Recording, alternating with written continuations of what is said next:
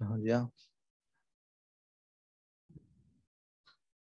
ये आया चलिए, सही है? तो इसमें और कुछ पूछना है? तो सेम सर्किट आप बना सकते हो एस के थ्रू भी। अच्छा तो इसमें तो रिमूव हो नहीं पाएगा दोबारा से बनाना पड़ेगा।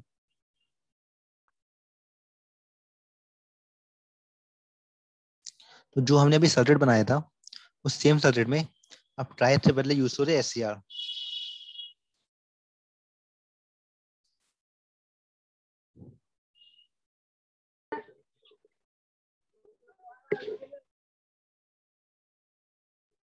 हम्म, बताइए। सर बोल रहे हैं कि सर जो अभी हम लोग बनाए थे सर हम्म। सर उसमें इसमें सर वोल्टेज पावर का लॉस सर कम होगा वोल्टेज रेगुलेशन में। हाँ और सर हम लोग जो घर में अपने यस हाँ, सर सर हम लोग जो यूज़ करते हैं सर वो ज़्यादा होता है। हम्म उसमें पावर लॉस ज़्यादा होगा यस सर लेकिन फिर भी सर हम लोग यही यूज़ करते हैं इसको क्यों नहीं यूज़ करते हैं?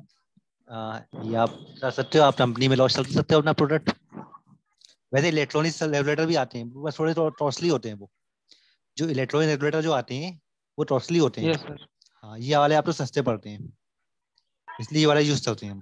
सही आप अगर मार्केट में लेने जाओगे मार्केट में आपको इलेक्ट्रॉनिक रेगुलेटर भी मिल जाएँगे।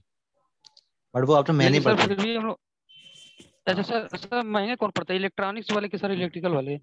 नहीं नहीं देखिए इलेक्ट्रॉनिक में क्या होता है ज़्यादा इक्विपमेंट यूज़ हो रहा है ना। इलेक्ट्रिकल में सब sir. रेजिस्टेंस यूज़ हो रहा है। इलेक्ट्रॉनिक में आपका sir. यूज़ हो रहा है। ठीक है पूरा सर्किट यूज़ होता है इसमें। ट्राइब भी यूज़ हो रहा है फिर उसमें डाइट यूज़ हो रहा है सही है। उसमें फिर आपका कैपेसिटर यूज़ हो रहा है। तो पूरा ही सर्किट होता है सर हाँ तो इसलिए वो महँगा पड़ता है। तो इनिशियल कॉस्ट तो उसकी. महँगी होती है। इनिशियल कॉस्ट आपको महँगी पड़ेगी बट बाद में अगर इलेक्ट्रिसिटी तो उसमें सेव हो जाएगी।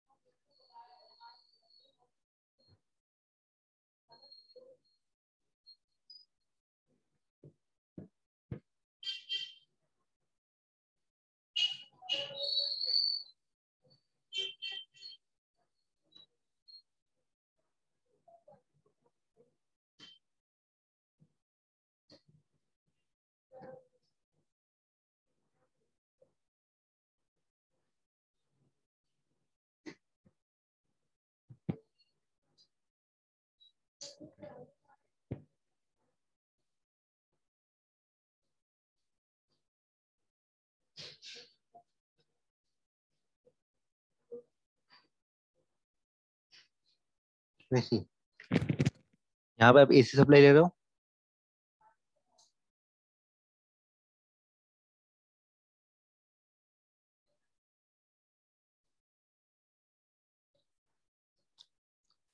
ये आपका वेरिएबल रेजिस्टेंस है।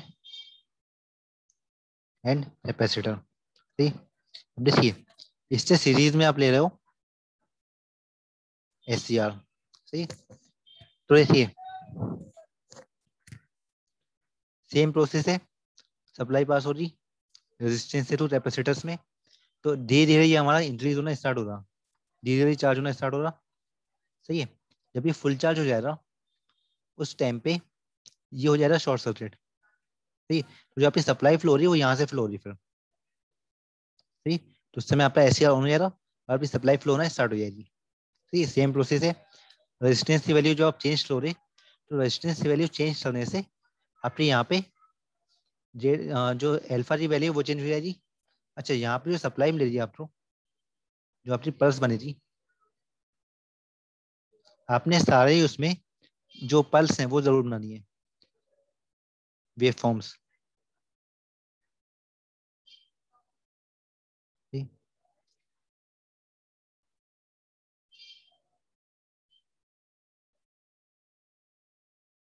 देखिए अच्छा यहाँ पे हम सप्लाई में एसी दे रहे हो ना? इस तो एसी में यहाँ पे नेचुरल ट्रांसम्यूटेशन हो रहा। यहाँ पे ट्रांसम्यूटेशन के लिए आपको फोर्स ट्रांसम्यूटेशन यूज़ करने की ज़रूरत नहीं है। फोर्स ट्रांसम्यूटेशन वहाँ पे यूज़ होता है जहाँ पे डीसी यूज़ होती है। एसी में जो ट्रांसम्यूटेशन होता है वो नेचुरल ट्रांसम्यूटेशन होता है। सही है? देखिए यस सर तो सपोज़ इस पॉइंट पे आपकी जो कैपेसिटर वैल्यू है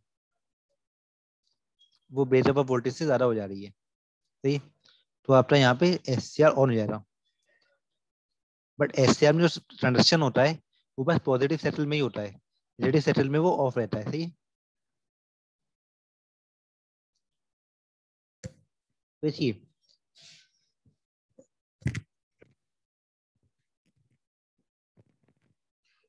इसमें जो आपकी एवरेज वोल्टेज हो रही एस यूज़ करने पे जो आपकी एवरेज वोल्टेज हो रही, वो ट्राइब से कम रहेगी तो यहाँ पे नेगेटिव सेटल में पूरा ऑफ़ है। तो देखिए हमेशा ज़्यादातर जब भी एसी में एज अ स्विच हमेशा ट्राइज यूज़ किया जाता है। एस सी आर इतना यूज़ नहीं होता है। ट्राइज जो है वो बायडायरेक्शनल डिवाइस है, दोनों डायरेक्शनल में ऑपरेट होता है, इसलिए ज़्यादा हमेशा ट्राइज यूज़ होता है।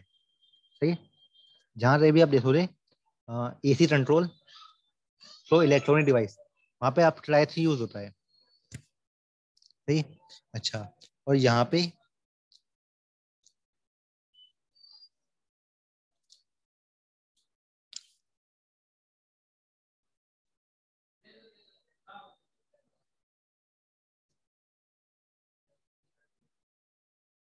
है इतना क्लियर है?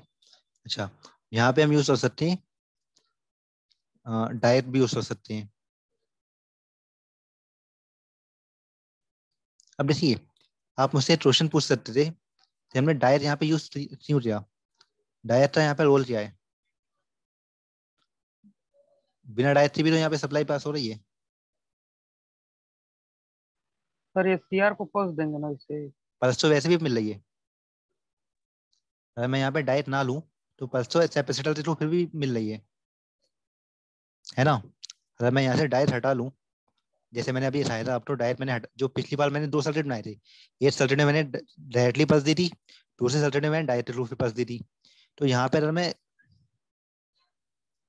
अगर डायट में हटा लेता हूँ, और सीधे मैं ऐसे जोड़ देता हूँ तो सप्लाई तो मेरी अभी भी मिल रही है। तो यहाँ पे सप्लाई आ रही है मेरी कैपेसिटर पे आ रही है। कैपेसिटर मेरा चार्ज होना स्टार्ट हो रहा है।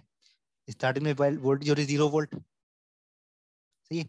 जैसे जैसे वोल्टेज हमारी यहाँ पे इंक्रीज हो रही जब यहाँ पे वोल्टेज जो हो रही वो सफिशियंट हो जाएगी तो यहाँ पे हमारी जो है इतनी हो जाएगी जिस आईजी से हमारा एस ऑन हो जाए। तो यहाँ पे हमारा सप्लाई पास हो रही एस ऑन हो जाएगा।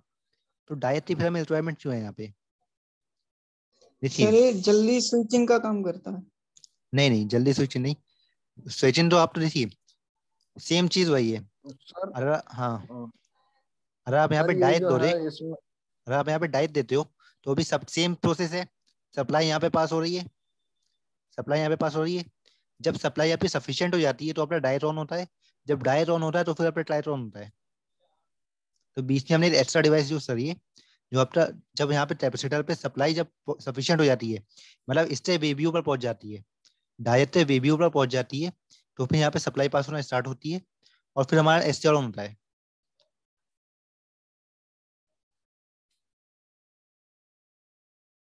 देखिए डायट में हमने पढ़ा था।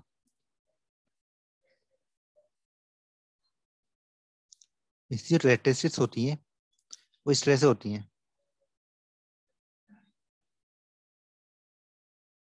सही? वोल्टेज आप बढ़ाते जाते हो, सही? जैसे जैसे आप वोल्टेज बढ़ाते जाते हो तो जब आप वोल्टेज बढ़ाते हो तो जब वीवीओ पे पहुँच जाता है तो डायट ऑन हो जाता है, सही है? जब डायट ऑन होता है तो इसकी जो वोल्टेज होती है वो धीरे धीरे डिक्रीज होना स्टार्ट हो जाती है वोल्टेज करंट आपकी बढ़ रही है बट वोल्टेज आपकी डिक्रीज हो रही है। सही है? तो यहाँ पे क्या हो रहा है? जब कैपेसिटर आपका चार्ज हो रहा सपोज़ कैपेसिटर आपका चार्ज हो है थर्टी वोल्ट पे। ठीक है? थर्टी वोल्ट जो है, वो इसी बेजोबर वोल्टेज है। थर्टी वोल्ट पे ही ऑन हो जाएगा। सही है? अब ये वोल्टेज तो कॉन्स्टेंट है थर्टी वोल्ट इस पॉइंट पे जो वोल्टेज है, वो थर्टी वोल्ट कॉन्स्टेंट है। बट यहाँ से बट डायरेक्ट से अक्रॉस जो वोल्टेज है, वो आप डिक्रीज हो रही है। ठीक है? वोल्टेज डिक्रीज हो रही है करंट इंक्रीज हो रही है। मतलब आपकी करंट फ्लो ना यहाँ पे स्टार्ट हो जाती है। करंट आपकी यहाँ से फ्लो हो रही है। आई जी यहाँ पे आपको तो मिल नहीं सफिशियंट जितनी आपको रिक्वायरमेंट है। बट इससे अक्रॉस जो वोल्टेज है, वो आपकी डिक्रीज हो रही है। ठीक तो इससे अक्रॉस वोल्टेज डिक्रीज करने के लिए हम यहाँ पे यूज़ करते हैं डायट जिससे आपकी डे टर्मिनल पे जो वोल्टेज है, वो आपकी डिक्रीज हो जाए। वो ज़्यादा वोल्टेज से वो डैमेज होने के चांसेस होते हैं एससीआर ठीक है तो इसलिए हम यहाँ पे रेट पर वोल्टेज यहाँ पे डिक्रीज करता है वोल्टेज तो ये डायरेक्ट करंट यहाँ पे करंट प्रोवाइड कराता है तो हमें मेन जो यहाँ पे जो सप्लाई चाहिए वहाँ पे आईजी चाहिए हमें करंट तो करंट यहाँ पे प्रोवाइड कराता है और वोल्टेज यहाँ पे डिक्रीज करता है। सही है? तो डायरेक्ट यहाँ पे सर ऐसा सर ऐसा कह सकते हैं कि मतलब कम वोल्टेज में और सर बहुत जल्दी सर ऑन होता है। नहीं वैसे ही वैसे डायरेक्टली जितनी भी आपके स्विचिंग डिवाइस हैं सबकी स्पेशलिटी यही है कि वो कम वोल्ट जो स्विचिंग स्पीड होती है उससे बहुत ज़्यादा हाई होती है सही है? देखिए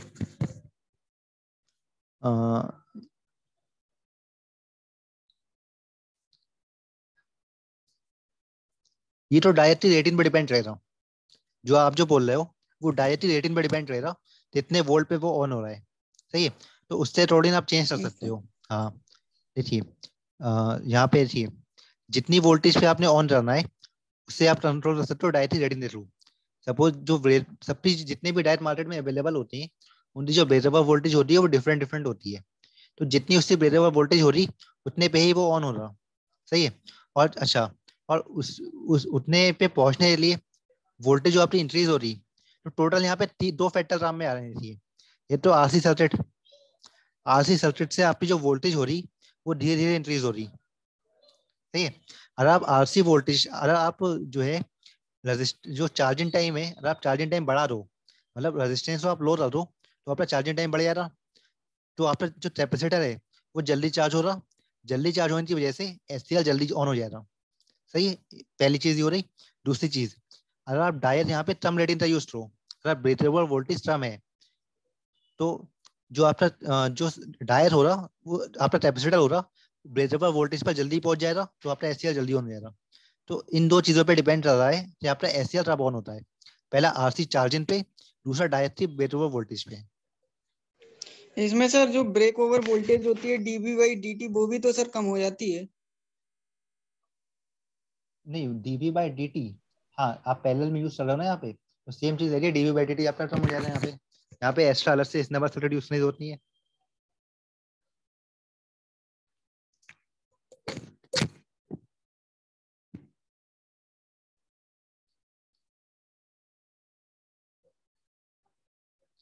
और कुछ पूछना है?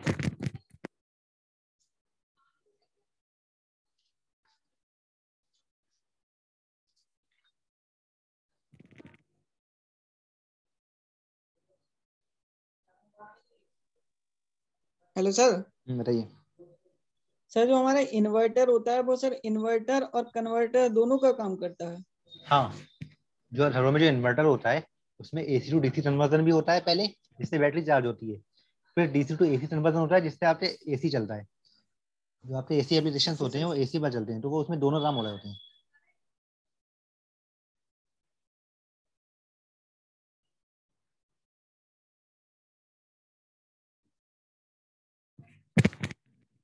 आज डेट है एटीन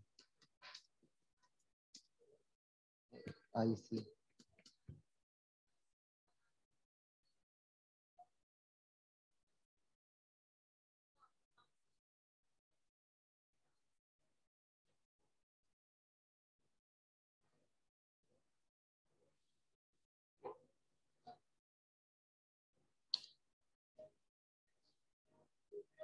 और इसमें कुछ पूछना है? I C eighteen June. तो अटेंडेंस ले ली मैंने। अगर आप में कोई डाउट नहीं है तो आप लोग लीव कर सकते हैं फिर। Thank you sir thank you sir thank you sir